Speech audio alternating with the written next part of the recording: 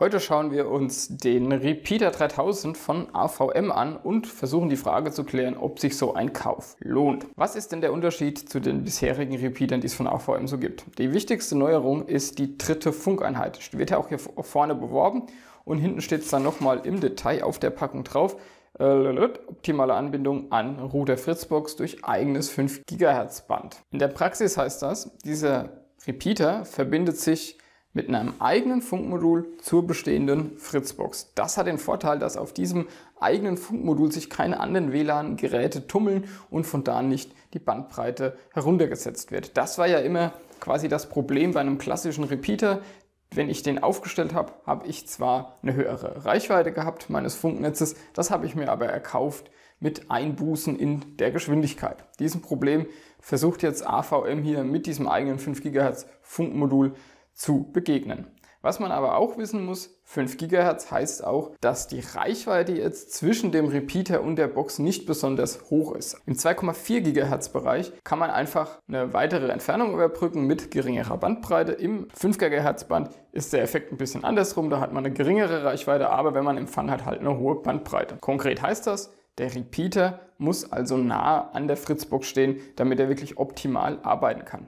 Man kann ihn auch im WLAN-N oder im 2,4 GHz Band verbinden, dann spielt er aber seine Vorteile nicht aus und lohnt sich eigentlich auch nicht. Ja, wie schlägt sich das in der Geschwindigkeit nieder?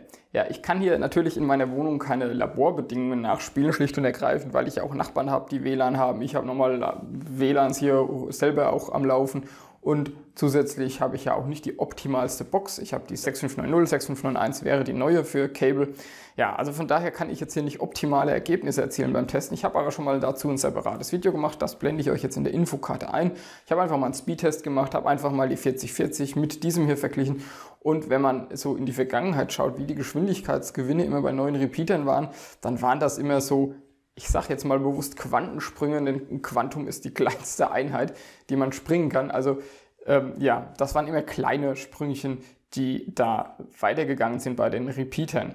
In dem Fall ist es anders. Der äh, Geschwindigkeitsgewinn ist da deutlich. Also ich konnte mit einer Verbindung über diesen Repeater immer noch 300 Mbit zu meiner Fritzbox erreichen. Das habe ich vorher mit noch keinem anderen Gerät geschafft, das über WLAN verbunden war. Das heißt, das hat auf jeden Fall seine Pluspunkte, wenn man den genauso einsetzen kann, wenn man den nah an der Fritzbox positionieren kann und damit dieses Funkmodul, diese Vorteile des Funkmoduls entsprechend ausspielen kann. Auch da ist ganz klar der Pluspunkt die Geschwindigkeit, die der erreicht. Was auch schön ist, auch ein kleiner Unterschied zu bisherigen Repeatern, er hat hier hinten zwei Ethernet LAN-Buchsen ja, leider nur zwei, kann ich mittlerweile echt nicht mehr nachvollziehen. Also zumindest meine Realität sieht so aus, dass ich viele, viele Geräte gerne am LAN hätte und die zwei Buchsen eigentlich schon wieder zu wenig sind. Gut, ich kann natürlich einen Switch dranhängen, aber wäre schön, wenn der wenigstens mal vier gehabt hätte.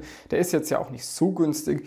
Das hätte man also durchaus noch vielleicht spendieren können. Wenn man den zum Beispiel neben dem Fernseher hat, kann man den dann direkt über Ethernet anschließen. Das ist auch zu empfehlen, weil umso weniger Geräte sich im WLAN tummeln, umso besser haben dann die anderen Geräte die Möglichkeit, an Durchsatz zu kommen. Ein weiterer Vorteil ist auch, steht natürlich auch fett hier auf der Packung drauf, WLAN-Mesh. Wer also schon eine Fritzbox hat, der sollte bei AVM bleiben, schlicht und ergreifend, weil er dann dieses Mesh-Feature nutzen kann. Das ist jetzt nicht exklusiv dem 3000 äh, vorbehalten. Das können natürlich auch andere AVM-Repeater. Aber ja, wenn man halt einen Repeater kauft, dann bleibt man am besten bei AVM und nutzt diese Mesh-Funktion.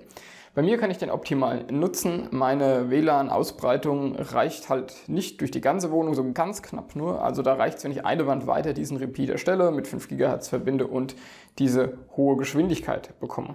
Ein Pluspunkt wie immer bei AVM oder Fritz-Produkten ist natürlich die einfache Bedienung. Wenn man schon sowieso ein AVM-Produkt hat, reicht es, wenn man hier so ein paar Knöpfchen drückt und dann sind die schon verbunden und entsprechend auch im Mesh. Auch dazu habe ich schon mal ein Video gemacht, das blende ich euch wieder in der Infokarte ein. Also nochmal zusammengefasst, meine Kritikpunkte sind dass er nur zwei LAN-Ausgänge hat. Immerhin hat er zwei. Naja, kann man ja bei einem Repeater wahrscheinlich schon froh sein.